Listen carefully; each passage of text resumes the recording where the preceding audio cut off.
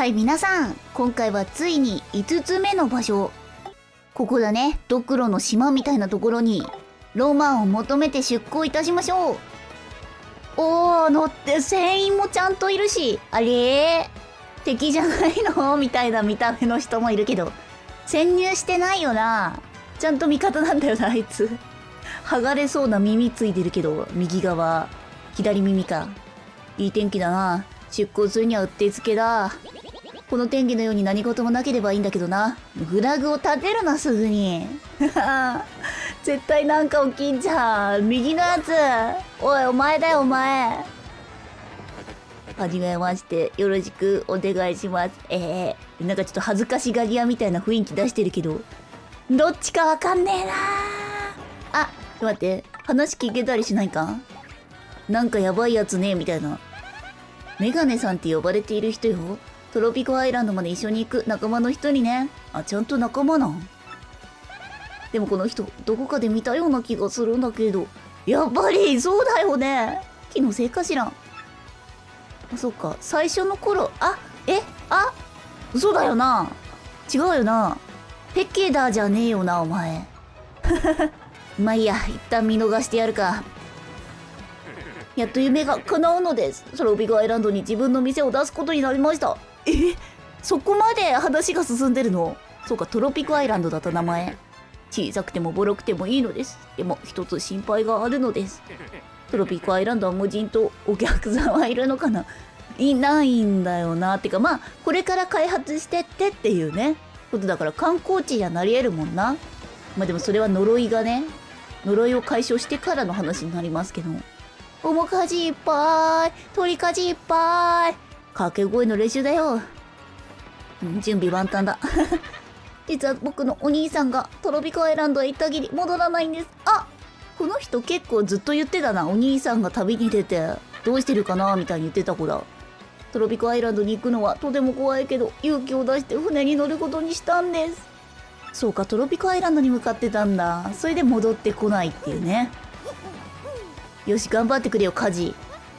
私、いつか必ずこの町から出ようと思っていたの。海賊が出ようと幽霊が出ようと私は構わないわ。こんなゴロつきばかりの町よりはよっぽどマシよ。いや、まあ、治安はね、そもそも無人島だから治安も何もないもんな、きっと。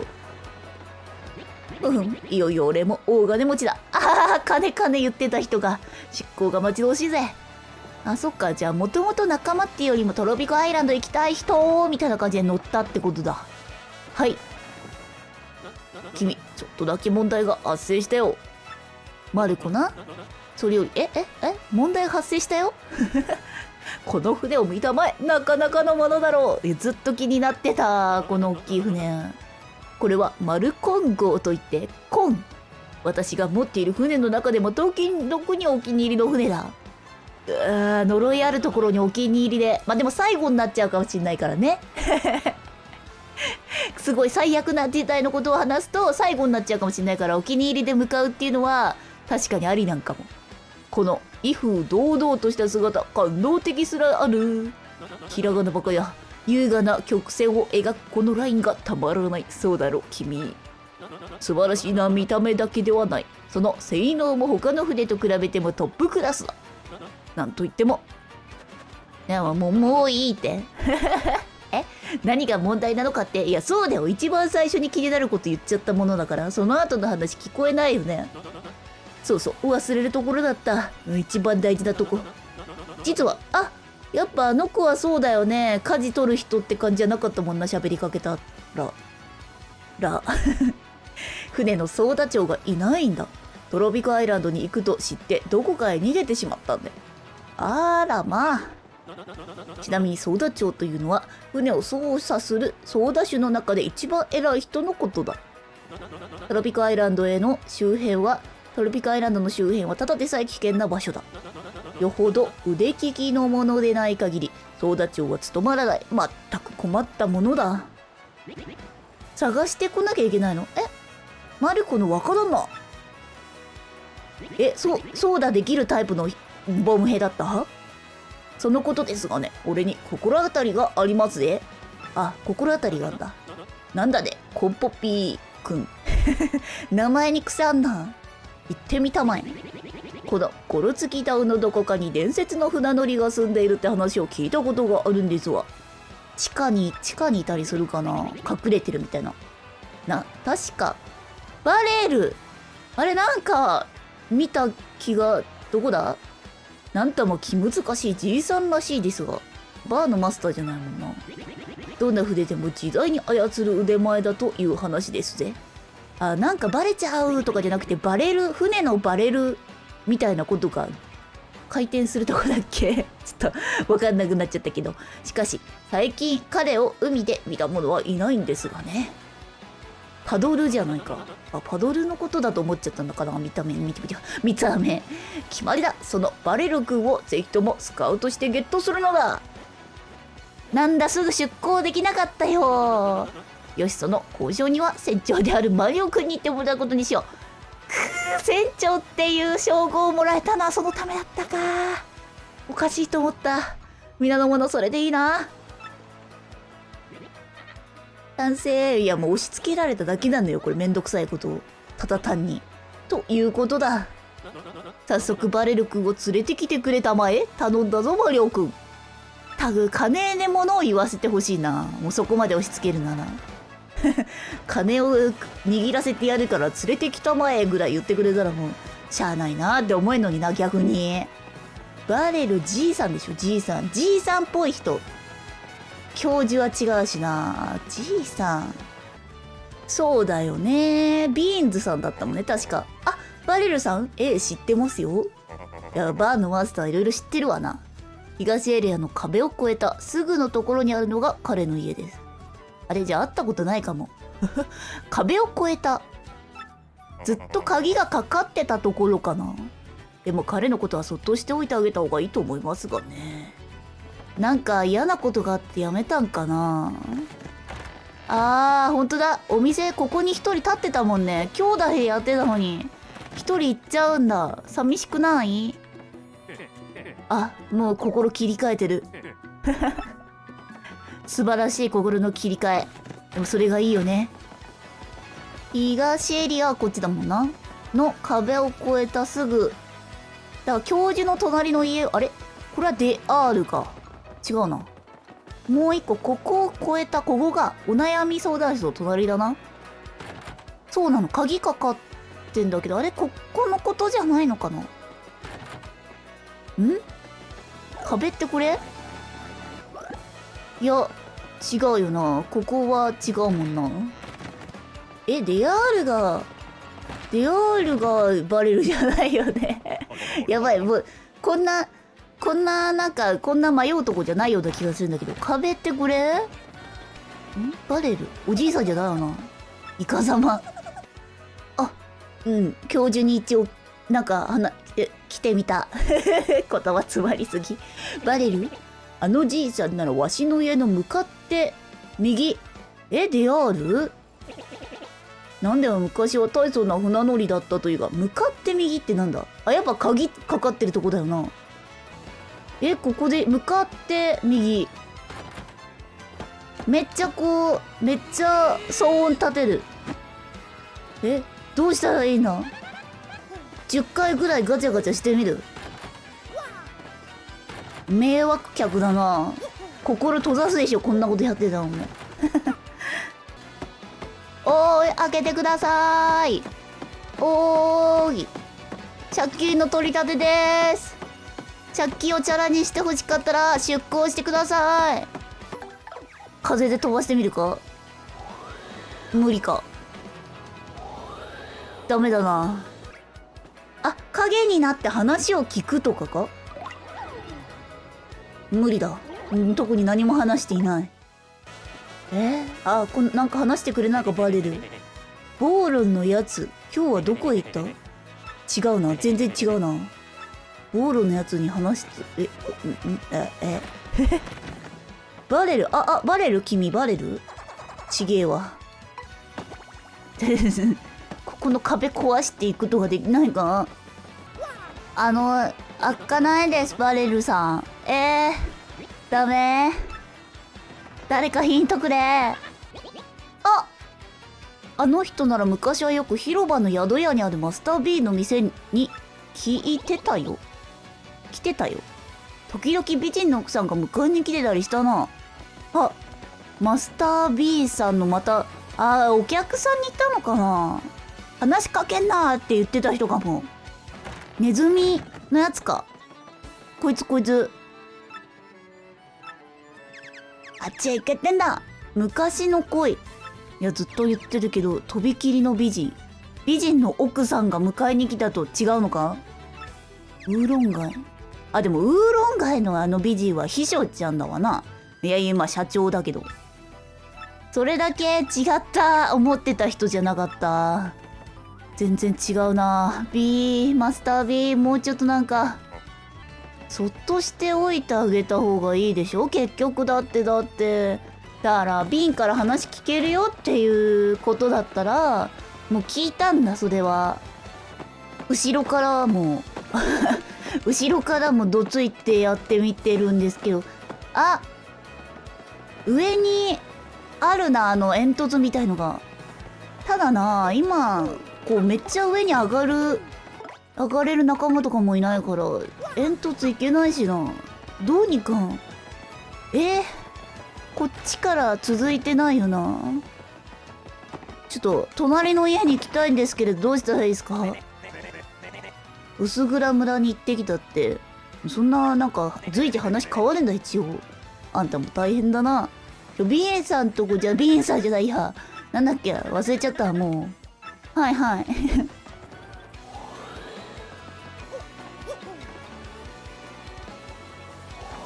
ああおマジかよ。あえこっちの家だった？こっちだと思ってこっちの家叩いてたんだけど。ごめんなさいね。こっちの家の方人違いでした。やったぜ。え？えー、この槍の人がそんな伝説の船乗りなんかわけないよ。なんてこった？秘密の入り口に気づいたのか？あお悩みセンターの裏側だ。じゃじゃ違う。私が見つけたいのそれじゃないわ。やばい。内容の依頼を結構出してるんでね俺たちがお悩みセンターを経営してるってことはみんなには秘密にしておいてくれよ。なるほどな。あっちの盗賊の親分かなんかの経営してるところだったってことか。そんなのどうでもいいんですわ。お悩みセンターになんかお悩み出てたりするかなバレルさんの。あーだから本当はこう屋根伝いに行けばなんかさちょっとかすかに上に煙突だけど前から入れそうな穴開いてるよね上に。だからこのさこの木箱とかに乗れればドンドンドンって上に行って飛んでとかっていけんのかもしんない。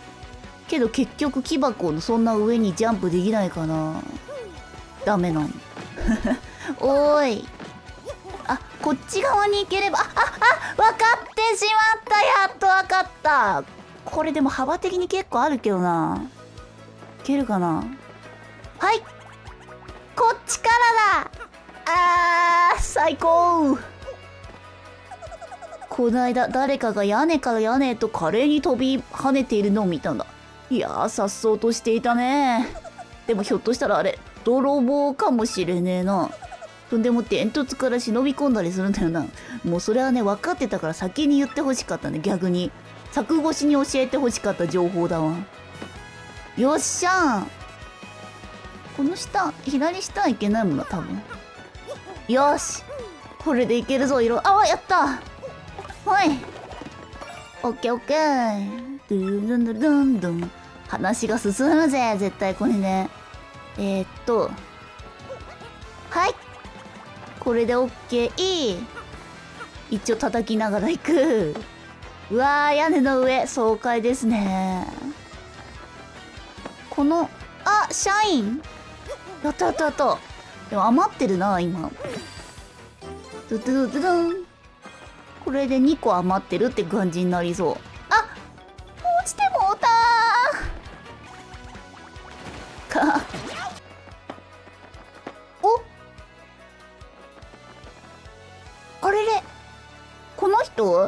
あ泥棒かもしれないって言われてた人か。こっから入れんじゃないかなと思ったわけあこれは多分くるくるになって入ればいいんかなと思うけど。一応この人も話聞いてみようか。まずは情報からだ。怪しいやつか？こいつは。テイルワースよ。屋根の上でのんびり気ままに暮らしている。ああれ？なんか銀融詩人がどうとかって言ってなかったっけ？ゴルツキタウンにまつわる話に詳しい。あ、そうだ、噂の、噂好きの人から言われたんだ。コインを払うとちょっとしたお話を聞かせてくれるわ。何かの冒険にやつくに立つかもね。結局コインか。いや、私は、こうは、こちこんにちは。私はギリウシ人のテイルワース。物語を語りながら、ここで毎日のんびりと過ごしているのさ。物語を語って誰か聞いてくれるんかなこんなとこにいて。私は少しばかりこのゴルツギタウンにまつわる物語を知っている。よければ君に聞かせてあげよう。ただし、こう、超証拠印はいただくがね。何か聞きたい物語はあるかな？うん。5個、ああ、5コインか。やっぱりな。すべては伝説や。かっこいい。恐ろしい魔物。千年前のその恐ろしい魔物とは？みたいな。全部聞きたいけどすっごいな長くなりそう。あ、4人の勇者の正体とかも聞きたいな。ちょい早送りでいくか？うん、はい。お金はあります。お、曲がおしゃれ。はるか昔にこの場所にとても栄えた町があった。しかしある日、闇の世界からやってきた魔物によって滅ぼされてしまった。本には恐ろしい災いと書かれているが、その正体は闇の世界の魔物なのさ。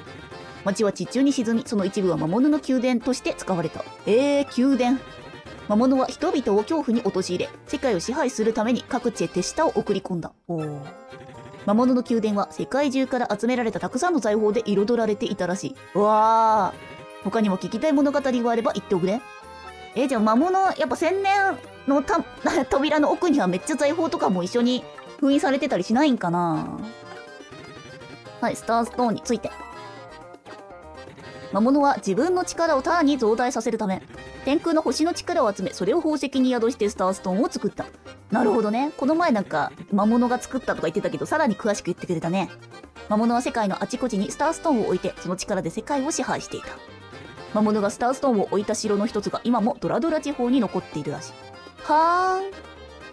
封印してからそれぞれの地方にこれを守っておいてくれって言ったわけじゃなくて魔物が支配してる時からそのいろんな地方に置いて支配してた名残でいろんなとこにスタートあんのか。他にも聞きたい物語があれば立ち上がった勇者。はい。ある時魔物を倒すべく勇者が立ち上がったのだ。ドラドラ平原に住んでいた怪力のピノキオは 言葉があまり上手でないのでピノキオと怪力あんまりイコールなんないけどな。周りのみんなから笑い物にされていた。あ、ちょっと悲しい話だった。しかし、魔物たちが各自を飛び回り、人々を恐怖に陥れた時、持ち前の怪力で悪さをする魔物たちからみんなを守った。それから彼の悪口を言う者はいなくなり、キノピオはヒーローと称えられるようになった。えー、勇者最初にキノピオが勇者なんだねえ。物知りクリボー。これは今もね、クリスチーヌちゃんとかあの教授とかでそういうイメージあるよね。物知りなクリボーって。不思議の森に住んでいた知識人のクリボーは、博学ゆえにみんなからとても尊敬されていた。おお真逆だね。たくさんの魔物たちが不思議の森を襲った時も知恵を振るい魔物たちを撃退していた。後、この後も魔物たちの攻撃を受けることを予測した彼は、すべての魔物をこの世から消し去る方法を考え始めたのであった。なるほど。ただ今、あのクリスチンちゃんが本読んで物知りでやってくれるけど、本をその時代にこう、作ってくれてたんかもしれないな。いろんな魔物についての本世界を一人で冒険していたノコノコは世界が闇に包まれていることを知ってああノコノコね魔物を退治すべく危険な場所へとたった一人で入っていった。うわあすごい勇気だ。体に多くの傷を受けながらも立ち向かってくるノコノコの姿に魔物たちは恐れをなした。こいつ何度も立ち上がってくる。しかし戦いのさなかノコノコは魔物の仕掛けた罠にはまり彼の身に危険が迫った。その時魔物の一人だったテレサが仲間を裏切り自分の持つ魔法の力でノコノコを救った。ほう。のこのこの諦めない強い心にテレサは自分の行いを悔い改めたのであった。ほう。テレサはまだ今のところ自分では仲間になってないけどマリオでは。それはあれかな。うーんとテレサがこれから仲間になるっていう暗示なのかそれともビビアンちゃんがまあちょっとそのねテレサっぽぽさもあるじゃん。幽霊っぽさっていうか。代わりなのかな。強力な魔物を持つテレサは勇気のあるノコノコに対し助言を与えたのであった。あでも魔法って感じじゃないかビビアンちゃんは。私たち二人では闇の魔法魔物に勝てはしない。私たちと共に戦ってくれる勇者はドラドラ平原のキノピオと不思議どぼりのクリボ。敵は勇者を把握してたのか。テレサの魔力に導かれあ魔力で調べたのか。4人の勇者は闇の魔物から世界を救うため集まったのだ。そして4人の勇者はついに魔物の宮殿にたどり着いたのであった。ほうほう。いい物語だ。ずっと読み読んでいたくなるもんな。どんどん次々って。闇の世界を支配する魔物の力は想像以上に強かったがそれがスターストーンの力であることに気づいたクリボーがそれを逆に利用することで魔物を倒す方法を示した。その方法を聞いた4人の勇者は力を合わせることにしたのだ。テレサの魔力とキノピオの怪力で魔物を一瞬ひるませた隙に勇気あるノコノコがスターストーンを奪い取りその力を取り入れ無敵の魔物に大きなダメージを与えることに成功したのであったまあそうね。スターストーンは別にどっちの味方って感じじゃないわけだもんね。今もそうだけど。だから奪っちゃえばこっちの力になってくれるものだったってことだな。昔から。しかしそれでも魔物は倒れず戦いはなかなか決着がつかないでいた。ここで知恵のあるクリボーがこのまま魔物を倒さずにスターストーンの力で魔物を永遠に封じ込める方法を提案すると他の勇者たちも賛成した。勇者たちは再び力を合わせスターストーンの力を最大に使いついに魔物の魂を宮殿の奥底に封じ込めることに成功したそして7つのスターストーン以外の力ではその封印を解くことができないようにしたのだった。なんで解くことができるようにしたの逆に？解くことができないようにっていうかまあそもそも解けないようにしとけばよいのでは？で全ては伝説編。ドラクエみたいなこと言ってるけども。魔物が滅んでしばらくは魔物の宮殿があった場所は？人々から呪われた場所と呼ばれ近づくものがなかった。しかし長い年月が過ぎると人々は魔物のことをすっかり忘れてしまい金がない漁師や町を追われた泥棒などがその場所に住み着き始めてやがてたくさんの人が集まる港町となりそれがゴルツギタウンとなったのである。うん。まあ人々はその地下に昔の町の宝物があるって言ってるけどね。本当はその地下には今も魔物の魂が生きているのさ。財宝はどこ行っちゃったんだろう。なるほど。じゃあ今聞けるものは全部聞いたね。はいありがとう。でさ裏からスターストーンがあったところにここら辺か？なんか落ちでないか？あらららら。あー裏か。あそっか。落ちずにこの裏？あよしよしよしよしよし。煙突の裏な。こうしてえー、っと入っちゃおう。ここが目的地を。これで入れるね。すいません。そんなペラペラでそんなドーンってなるかね。あもうまさに船ですっていう見た目してるわ、うん、でもちょっと怖いかも。なんだお前たちは。